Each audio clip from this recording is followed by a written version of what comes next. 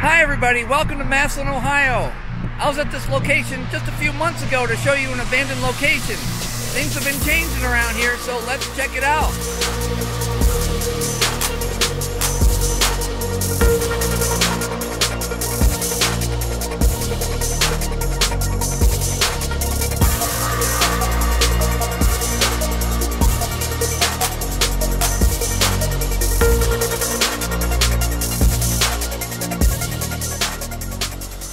To refresh your memory a little bit, for those that have seen this other video, right across the street from here is the Menards, and at the time, they were building the Aldi over here. The Aldi is now open for business, and as you can see, the parking lot is pretty full. But it was over here that I showed you the former Bee-Jay's florist and Al's greenhouse. It's been in the last couple days they decided that they're going to finally knock this down.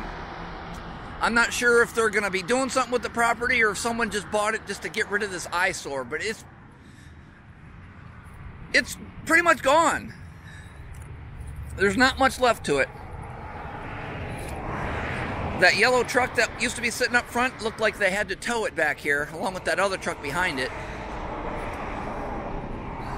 But everything's been completely gutted out of here, and there's nothing but a nice, great big hole. And I'm not going to be going inside of this structure just because it is very unsound, very dangerous. Uh, there's the front door. You can see that there's a nice gaping hole. If I were to try to step inside there, I'd just slide right on down inside and get cut up by all this glass. But uh, yeah, all the ceiling tile is still there for the most part, I guess. You could tell there was another ceiling in there before that at one point, even with the fluorescent lighting above that, which is kind of interesting to see. Well, let me take you around back here. Yeah, check this truck out back here. That looks like it's been sitting back there for a really long time. This is where the greenhouse used to be. Greenhouse is all completely gone. Everything's just nothing but a pile of rubble. And when I tell you this building is structurally unsound, let me show you. See that little wooden post right here? That is the only thing that is holding this thing up right now. So one slip and this thing's gonna come crashing down. Doesn't even have to be me that would go in there, just a little bit of vibration from all this traffic here on Route 21 could be just enough to uh, cause this to fall or slip or whatever. So yeah, this is as close as I'm gonna get. So I do apologize for that. I'm just doing that for my own safety and the safety of my friend from Rich Way uh, Video Productions that's tagging along here with me. But yeah, there was a. I don't think this was a basement of any kind, but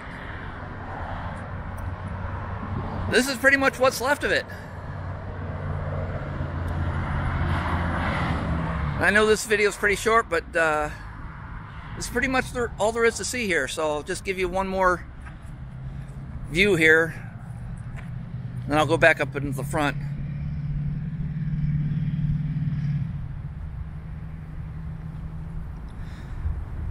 But if anyone in the area happens to know of uh, what might be going in into this place, let me know in the comment section.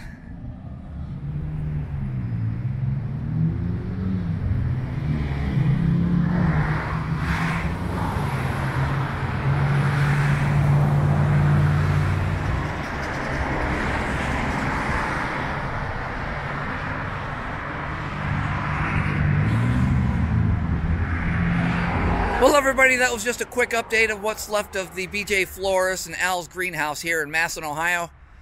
Uh, like I said, if anyone has any idea what's going to be happening here, let me know in the comment section below. In the meantime, thank you all for watching. Keep it real, and I will see you in the next video.